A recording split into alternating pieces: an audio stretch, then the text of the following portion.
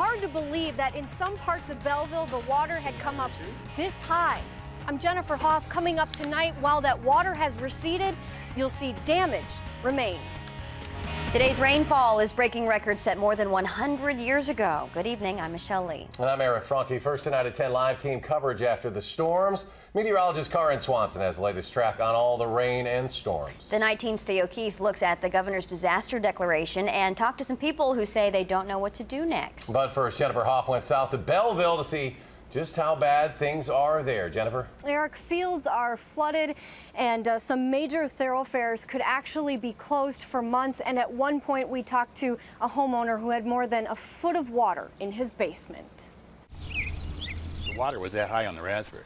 A calm afternoon would only come after rain battered Belleville. It's coming in so fast that it just filled up the whole subdivision, backing up into people's yards and that. It would first fill backyards, then by 9 in the morning, it poured into the basement of Bruce Woods. Didn't expect to have this kind of damage. Instead of showing off the room it took years for Bruce to build, he's taking photos to show busy insurance adjusters who still can't come for a couple more days. We need a way to get it out of here faster. Bruce blames a culvert too small and closest to his property. On Wednesday, the county fixed one further away, but it's up to the nearby town of Exeter to tackle the culvert in question. Bruce plans to bring it up at next month's board meeting.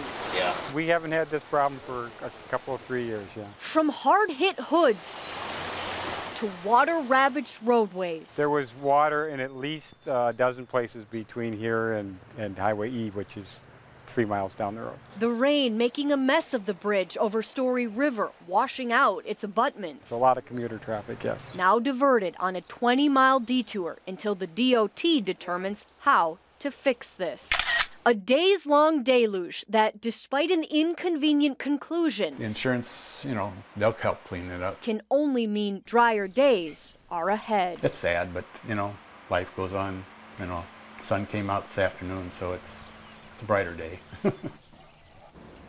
That was Highway 92 that you were looking at. And besides that roadway, drivers should know that Highway X, where the Sugar River crosses, is also closed. Along with Highway MM, there's a three mile stretch that uh, stretches from uh, Highway 11 to the Lafayette County line. Those two highways are closed. Eric and the Highway Department said that they probably won't reopen until early next week. Well, a lot of uh, routes that uh, travelers need to consider out there for closures. Jennifer, thank you very much. Mm -hmm.